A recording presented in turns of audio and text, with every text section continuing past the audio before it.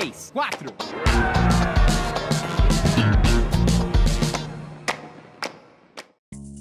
No episódio de hoje, Como os dinossauros foram extintos?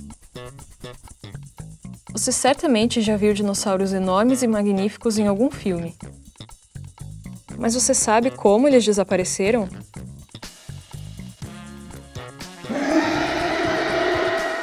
Bom, existem várias hipóteses propostas pelos cientistas: vulcões em erupção, chuvas de asteroides, um grande meteoro ou até epidemias. A explicação mais aceita é que os dinossauros teriam desaparecido após um meteoro colidir com a Terra. Essa colisão ergueu uma imensa nuvem de poeira, impedindo a luz do Sol de chegar até a superfície do planeta. Isso fez com que a escuridão e o frio, que duraram anos, deixassem os dinossauros sem alimento suficiente para sobreviver. Com o declínio dos dinossauros, rapidamente os mamíferos começaram a dominar o planeta. muito interessante, não? Nos vemos na próxima.